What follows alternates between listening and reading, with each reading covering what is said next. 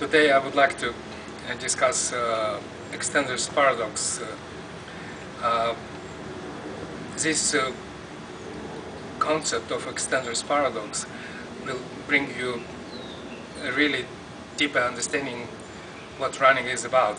It will change your understanding of running uh, as a way of movement and will eliminate any incorrect thinking about how running happened and why we don't need push off and why we don't need to be heel strikers and so on. Uh, in this excellent book, which called Biomechanics of Distance Running, was published Extensor's Paradox uh, chapter, which uh, summarized uh, many different articles uh, starting from 70s, and it's uh, written here. There is evidence from Brandell 1973 and Mann and Hagy 1980 that the quadriceps are generally silent during the phase of knee extension following the cushioning. Isn't it interesting fact that the major factor of propulsive force, so seemingly extensors muscles, quads, suddenly silent during exactly the phase where they're supposed to be working. So what it tells you uh, that so-called push-off really not happening.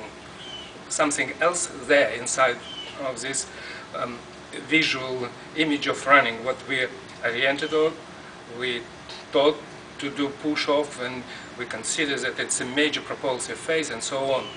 This data in this book and articles and research is related with extensor's paradox is showing that something else, some another incredibly powerful force playing major role in our propulsive forward. And by Pose concept, and I wrote about this in several articles, it's uh, gravity, more exact gravitational torque, which create rotational movement during stance phase. And more exact again during uh, the second half of the stance, while we start uh, deviate or move from the uh, vertical uh, condition, so-called pose or vertical stance, and start falling. This is what moves us forward. And understanding this fact allows you to understand that we have to run in a different way. We have to insert our efforts in a different way and uh, develop a very specific perception of how we're supposed to do running and learn how to do this. It means choose and develop drills relatively to that conceptual approach. And actually it's not just conceptual approach, it's a request of the nature. It's a law of nature that gravity during this stance basically telling us by turning off our muscles that, okay guys, let me do my work and keep yourself silent during this work. And nobody free from that.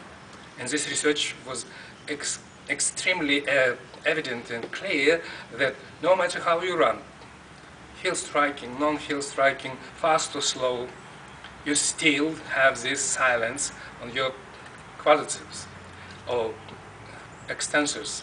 So nature already made this decision a uh, long time ago to make these muscles do not work. And they obey this law.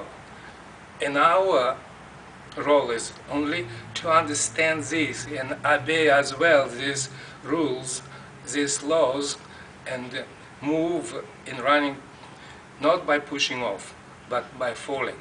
This is the meaning and conclusions from this very interesting research, extensors paradox.